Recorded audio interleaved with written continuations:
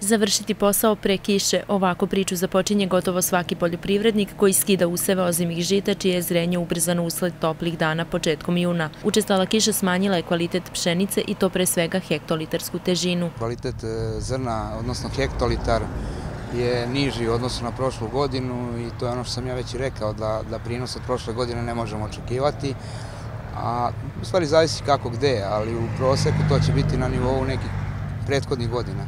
Kolika će cena pšenice biti, niko sa sigurnošću ne može da kaže, a ratari navode da realna cena ne bi trebalo da bude ispod 20 dinara po kilogramu. Moje očekivanje su sigurno da bude 20 dinara, jer e, proizvodna cena po jutru pšenice je nekih 21-22 dinara, tako da ispod 20 dinara mi smo na ivici rentabilnosti, a posebno što i prinosi nisu zadovoljavajući. Stručnici prognoziraju istu ili manju cenu u odnosu na prošlogodišnju. Prošle godine žetva je počela sa nepunih 16, a završila se sa 18,5 dinara, što je bila i maksimalna cena.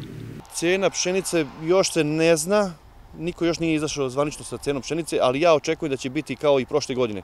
S obzirom da je ove godine malo više posjeno pšenicu u odnosu na prethodnu, cena pšenice možda bude i manja od prošle godine. Državne robne rezerve pre 15 dana uputile su vladi zaključak predlog za interventni otkup 30.000 tona ovogodišnjeg roda pšenice po ceni od 18 dinara po kilogramu sa PDV-om, te bi otkup mogao da krene već u ponedeljak ili utorak naredne nedelje preko produktne berze u Novom Sadu, a prednost će imati gazdinstva nakon toga i zadruge. Ratari kažu da su robne rezerve i ranije mogle izaći sa ovom ponudom koja bi otvorila tržište pšenic i verovatno ustalila otkupnu cenu između 17,50 i 18 dinara po kilogramu. Naime, oni smatraju da otkupna cena pšenice od 16 dinara koju sada pominju novi otkupljivači nije realna, pogotovo kada se uporedi sa troškovima proizvodnje.